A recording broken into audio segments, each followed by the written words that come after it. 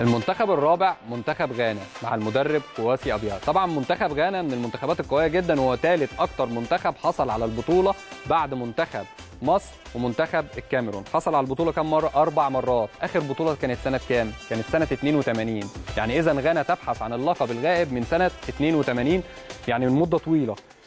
يمكن هم بيلعبوا على طول نخش في التشكيل أو أرقام المدرب بتاعهم كواسي كواسي ابيا معاهم. يمكن هم المنتخب الوحيد اللي بيلعب براسين حربه إحنا قلنا دايما المنتخبات بتلعب 4 2 3 1 لا منتخب غانا بيلعب 4 4 2 المنتخب الرابع سريعا. منتخب غانا بيلعب 4 4 2 حراسة المرمى ريتشارد أفوري بيلعب في مارتسبرج في جنوب أفريقيا. الاثنين المساكين جون بوي ده بيلعب في ميتس الفرنسي وقاسم آدمز بيلعب في هوفنهايم الألماني.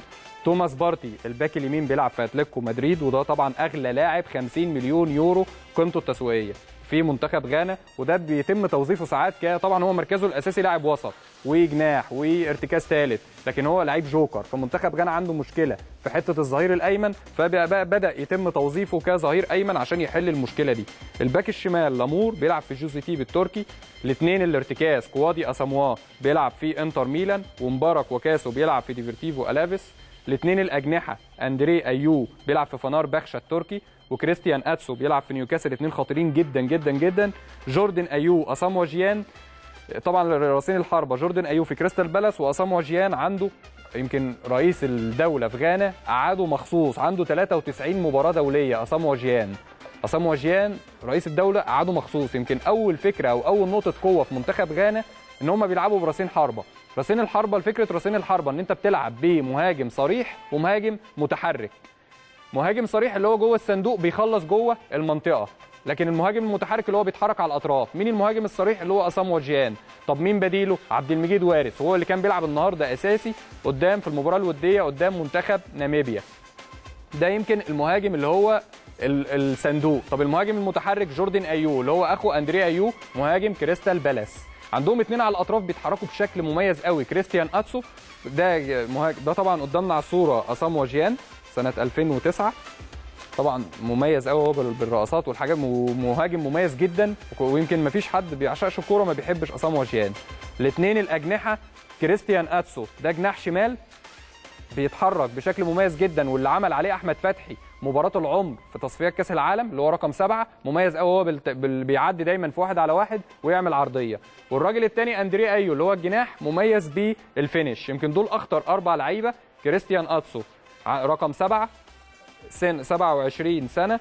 بيلعب في نيوكاسل الإنجليزي لعب 28 مباراة سجل هدف واحد. ولكن هو مش مش يعني هو لعيب مميز. سيبك من ارقامه دي لا هو لعيب مميز. كريستيان أتسو لعيب خطير جدا. أندري أيو لعيب خبرة. رقم 10 29 سنة بيلعب في فنار بخشة التركي. عدد مشاركاته الموسم ده 29 مشاركة أحرز خمس أهداف وصنع هدف واحد. جوردن أيو رقم تسعة اللي هو المهاجم المتحرك لعب 20 مشاركة مع كريستال بالاس أحرز هدف وعمل 2 assist. توماس بارتي لعيب أتلتيكو مدريد عنده 25 سنة رقم خمسة وقلنا إن هو بيوظفه ك back يمين وبيلعب برضه ارتكاز مش شرط يلعب back يمين بس طبعا أكيد هيتم استخدامه في الارتكاز مع كوادي أساموا ومبارك وكاسو وتوماس بارتي ده أغلى لاعب في الفريق 50 مليون يورو. هنبص إزاي هم سجلوا الأهداف أو إيه نقاط قوة منتخب غانا. هنلاقي إن أغلب أهداف منتخب غانا من جبهة كريستيان أتسو. عشان كده قلت لحضراتكم ما تركزوش قوي في أرقام الموسم. هو لكن هو لعيب مميز جدا اللي هو اللعيب رقم سبعة. دايما بيفوت في واحد على واحد قدام الظهير الأيمن. مميز قوي إن هو بيفوت وبيعمل العرضية. عكس أندري أيو. أندري أيو مميز بال finish اللي هو بيلعب بالقدم اليسرى. بيلعب ناحية اليمين مميز هو ال finisher عالي. ده يمكن كيف سجل منتخب غانا 8 أهداف في تصفيات كأس الأمم الأفريقية. هم لعبوا أربع مباريات بس عشان في منتخب معاهم كان انسحب منتخب سيراليون. يمكن هم سجلوا أربع عرضيات من من الجبهة اليسرى من 8 يعني 50% من الأهداف من الجبهة اليسرى جبهة كريستيان أتسو. اثنين تمرير طولي في المساحة بين الظهير والمساك وده النقطة اللي إحنا قلنا عليها إيه؟ قلنا دور المهاجم المتحرك. قلنا في عندهم حاجتين مهاجم صريح اللي هو أسامو جيان ومهاجم متحرك اللي هو جوردن ايو جوردن ايو بيتحرك دايما في المساحة ما بين الظهير والمساك تتلعب له تمرير طولي. دايما بيهاجموا بأربعة. عندهم جابوا برضو تسديدة من خارج منطقة الجزاء وهدف من ضربة جزاء. لو بصينا على الصورة هنبص نلاقي إن هم آدي كريستيان أتسو عمل العرضية وده هدف من الجبهة اليسرى لمنتخب غانا. نبص على الصورة اللي بعدها الصورة اللي بعدها دي مهمة قوي هنبص نلاقي أهو. بصوا حضراتكم هتلاقوا أربعة قدام. اندري ايو اللي هو على اليمين خالص واللي عليه الدايرة دوت كريستيان أتسو واثنين قدام. عصام وجيان وجوردن ايو اللي هم الاثنين راس الحربة. الأربعة صورة كربونة واضحة جدا من طريقة لعب منتخب غانا اللي هي 4 4 2 أو 4 2 2 2 عندهم كريستيان اتسو استلم الكورة وعمل العرضية بشكل مميز قوي. وديت يعني منتخب غانا بيلعب 4 2 2 2 مش شرط بقى توماس بارتي يبدأ كباك يمين. عنده الراجل اللي هو فريمبونج ظهير أيمن كوتوكو الغاني. ممكن يبدأ ويحول توماس بارتي اللعيب توماس بارتي ليه جوه اللعيب ارتكاز كوسط يعني وسط مدافع. عندهم برضو لعيب مميز قوي من اللعيبة اللي بتعجبني جدا اللي هو أجيمبونج. أجيمبونج ده لعيب جناح بيلعب تحت 23 سنة في مانشستر سيتي لعيب مميز قوي مهاري من اللعيبه اللي يعني player to watch يعني اللعيبه ركزوا معاه اللعيبه اللي هو اعتقد إن هو جاي لعيب مش واخد حقه اعلاميا اللي هو اجيم بونج لعيب مميز جدا لعيب مهاري بيفوت في واحد على واحد ولعيب خطير لعيب تحب تتفرج عليه اللي هو اجيم بونج اللي هو جناح مانشستر سيتي. يمكن البديل زي ما قلنا برضو عبد المجيد وارث قلنا متوسط الأعمار بتاعة منتخب غانا 26 سنة. ده متوسط الأعمار. متوسط الأعمار برضو متوسط مش كبير رغم الخبرات اللي موجودة. منتخب غانا منتخب خبرة. قلنا نقاط القوة عندهم الاثنين المهاجمين. واحد مهاجم متحرك وواحد مهاجم صريح. مهاجم جوه الصندوق اسام وجيان أو عبد المجيد وارث. ومهاجم متحرك اللي هو جوردن أيو أخو أندري أيو. عندهم اثنين على الأطراف بيتحركوا بشكل مميز قوي. كريستيان أتسو اللي هو الجناح الشمال اللي هو كان بيلعب في إيفرتون. طبعا لعيب مميز جدا وهو دلوقتي بيلعب في نيوكاسل الإنجليزي. الناحية الثانية أندري ايو وده مميز قوي بال finish. ومن اللعيبة اللي كانت كمان حتى لما كان أصغر من كده 3 4 سنين في كأس العالم 2010 كان يمتعك كورة. هو دلوقتي بيعتمد على الخبرة أكتر اللي هو ال finish بتاعه عالي جدا. ده يعني من اللعيبة المميزة جدا. القيمة التسويقية لمنتخب غانا 120 مليون يورو. من ال 120 مليون يورو لوحده توماس بارتي 50 مليون يورو اللي هو نجم أتلتيكو مدريد وقلنا عليه إن هو هيبقى من أخطر لعيبة منتخب غانا. قلنا الفكرة بتاعت راسين الحربة.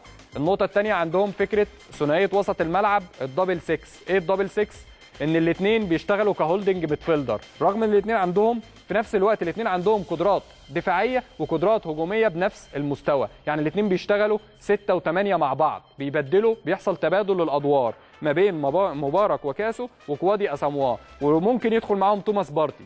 هي الفكرة إن أنت الثلاثه اللي هو توماس بارتي مبارك وكاسو كوادي اساموا الاثنين واحد فيهم بيسقط ينزل يستلم عشان يبني الهجمة وواحد بيتحرك جوه. دي فكرة ال double 6 قلنا نقطة القوة الثالثة التمرير الطولي ما بين المساك والباك. من خلال تحرك جوردن ايو اللي هو المهاجم المتحرك بيتحرك على الأطراف أدي عصام وجيان وتحته على طول بيبقى مين؟ اللي بيتحرك على الأطراف اللي هو جوردن ايو بيتحرك بشكل مميز جدا في المساحة ما بين المساك وما بين الباك. النقطة الرابعة وهي الخبرات، لعيب زي أندريا أيو عنده لوحده 70 مباراة دولية، رقم كبير جدا، لعيب زي عصام وجيان عنده 93 مباراة دولية، لعيب مميز وهو هداف أفريقيا عصام وجيان، هداف أفريقيا في كأس العالم بسبع أهداف. يعني أو ست أهداف. لعيب مميز جدا عصام وجيان ويمكن رئيس الجمهورية بنفسه استدعاه ليه؟ عشان يكون قائد يجمع الفرقة. في نفس الوقت ال finish بتاعه عالي سواء بدأ أو ما بدأش يقدر ينزل الشوط الثاني يديك نص ساعة. لعيب مميز جدا في القدرة التهديفية. وممكن يبدأ بعبد المجيد وارث مهاجم نانت الفرنسي. منتخب غانا زي ما قلنا بيبحث عن اللقب الغائب من سنة 82 ده يمكن ملخص منتخب غانا. قلنا نقاط القوة. قلنا راسين الحربة اللي هو المهاجم الصريح والمهاجم المتحرك. قلنا أندري أيو وجور وأندري أيو وكريستيان أتسو اللي بيتحركوا على الأطراف بشكل كويس جدا. وقلنا توماس بارتي وقيمته التسويقية. واتكلمنا على التمرير الطولي ما بين المساك والباك. واتكلمنا على الخبرات. دي يمكن كانت نهاية الحلقة الأولى من برنامج رادار أفريقيا. أتمنى إن هي تكون نالت إعجابكم. وأوعدكم إن شاء الله إن الفترة الجاية هيبقى في تطوير أكتر وأكتر. أعتقد إن كل منتخب بنتكلم فيه على كل حاجة التشكيل طريقة اللعب أرقام المدرب نقاط القوة نقاط الضعف القيمة التسويقية معدل الأعمار. أعتقد إن إحنا ما سيبناش حاجة إلا ما جبناها في جميع المنتخبات. فأتمنى إن شاء الله إن هي تكون نالت إعجابكم ونوعدكم إن شاء الله إن الحلقات الجاية هيكون في تطوير أكتر وأكتر. شكرا والسلام عليكم.